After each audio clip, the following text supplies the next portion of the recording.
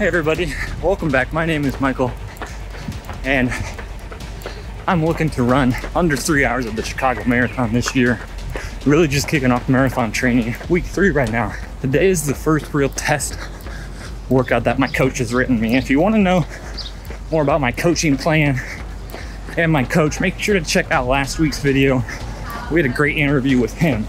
But this week's focused effort is a 30 minute time trial, kind of a a running FTP test, if you will, because I'll be going for distance, but coach and I will also be looking at my power. What type of average power am I able to withstand over 30 minutes? I need to say a big thank you to my my wife and my beautiful son for helping capture some of the footage. Thanks a lot, Henry. You're the best. About to start. Ready, set, go. Thank you.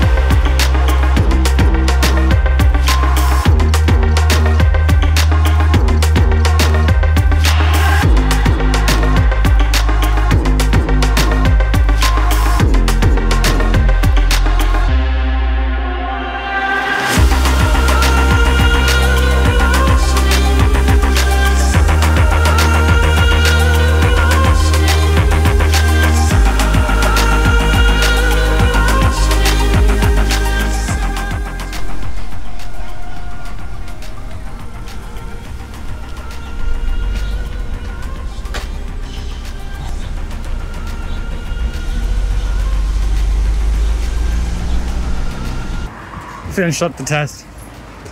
Honestly, I don't know what I did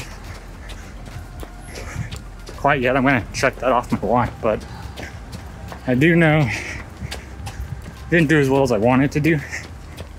The uh, heat was getting to me. No excuse though.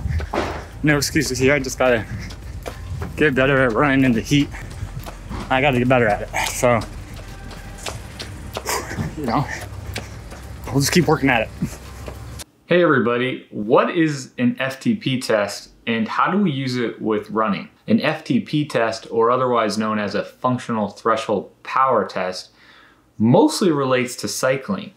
Uh, and it's a test that theoretically tells you how much power in watts can you put out over an entire hour. What is your threshold power? However, come to find out because I am currently trying to train for a sub three hour marathon here at the Chicago Marathon this October, uh, my coaches advised me to get a Stryd power meter, which is this right here. The Stryd power meter is a tool that can measure your watts while you're running.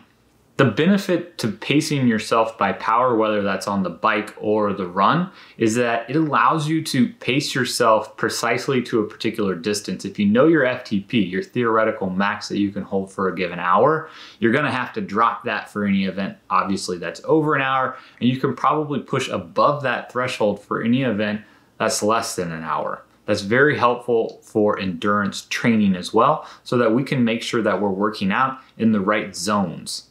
Now let's talk about the test that I just did. My coach gave me a workout to go out and run 30 minutes as hard as I can, as far as I can. Let's look at the data together from that workout to see how I did, and then we'll also talk about what that means for my training going forward. Now, during my 30 minute run, I was able to go 4.35 miles, which is 8.7 miles an hour, uh, at an average of 343 watts. Now, just really quickly, I got to be honest, when I got done and you saw me recording there after the run, I was disappointed with the result. I, I didn't know how far I had gone, but I knew I didn't go as far as I wanted to. I wanted to go over four and a half miles during that 30 minute effort. I know 4.35 miles, 8.7 miles an hour isn't far enough. It's pretty much the pace. It's actually a little bit slower than the pace I need to hold to run a three hour marathon. My initial reaction that you saw in the video is disappointment, but Moving forward though, let's look at the numbers precisely what I did over the course of the entire effort. Now, I think this is a pretty interesting story because it also might point to some of the major advantages of using the Stryd Power Meter. My first mile was 6 minutes and 28 seconds, and my last full completed mile was 7 minutes and 22 seconds. Now, historically, without the power meter, if I looked at that data, data and, and maybe what you're thinking too is, you, Michael, you paced yourself horribly. And you're right, I think I could have done a better job there. But when we look at the power data, what was the effort I was putting in to my run? It went from 356 watts for that first mile down to 333 watts. So yes, I didn't pace myself evenly, but the drop off in power wasn't as high as it looked when you looked at just my pace. You can also see this when you look at my heart rate. My heart rate was relatively steady across the board. What does this tell me? Well, it tells me I was running at a similar effort, a similar wattage almost, uh, and that there were other environmental factors that were influencing my run. Things that running by pace alone won't tell you. I certainly explained a little bit in the video that it was a very hot day.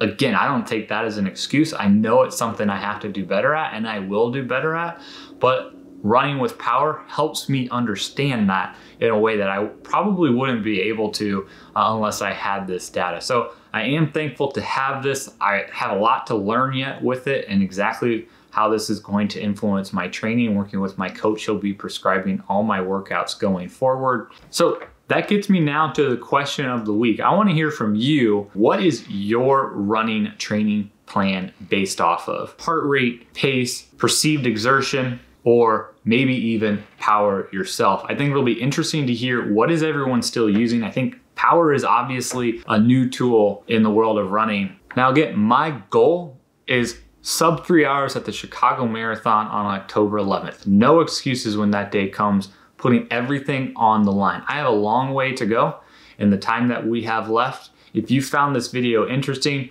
please make sure to give it a thumbs up. Also, make sure to hit that subscribe button below so that you can continue to follow along on my journey. Thanks for watching, everybody.